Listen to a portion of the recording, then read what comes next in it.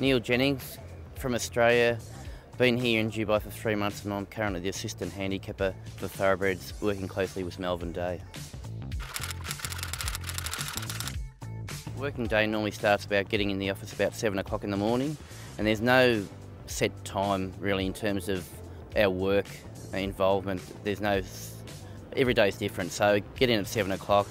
Generally we'll, we'll review the races locally over the last few days and we also look at the black type races group and list listed races for the World Thoroughbred Racehorse Ranking. So I currently put all the ratings in for the Australian black type races and also New Zealand.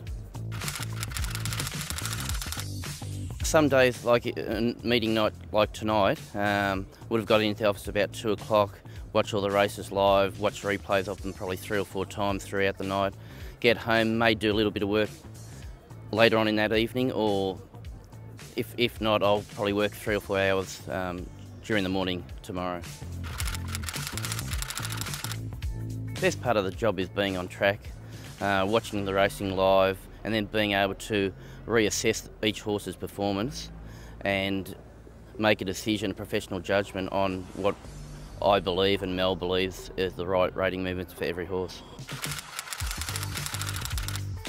Probably I would have to say is having a young family, it's very time consuming at times. As I said, it's not a nine to five job and having to be away from them for large proportions of the time can be hard, so you've got to try and get a fine balance.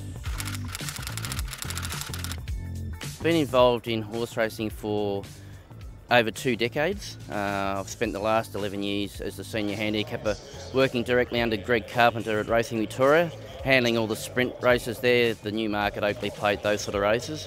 Um, so yeah, basically all my life I've been involved in horse racing. Gee, I'd say I'd be a school teacher. Without a doubt, as I said, I've, I've been looking after the sprint division for in Australia for a number of years now, so without a doubt would have to be Black Caviar. The arrogance of her victories being undefeated in 25 starts and the manner she did it in uh, would definitely be her. But I also had a soft spot for a horse called Hay List, who was quite often uh, bridesmaid to her, and him winning the Newmarket handicap with a met metric weight carrying record in 2012 with 58 and a half, being there on track for him to beat buffering by a nose, giving him four kilos was a special moment in racing.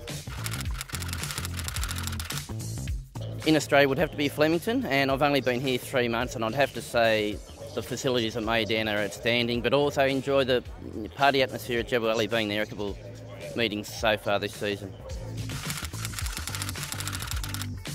I'd probably want to spend more funding on health and ed education, the health and education system. Now this is coming from a six-year-old son, Laura, so I would like to glide through the air like Superman.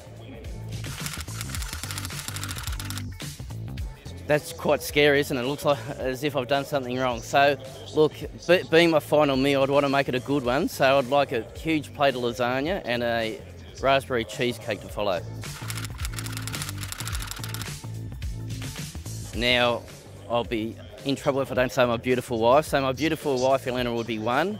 Roger Federer would be the other one, and the third one would be Halle Berry.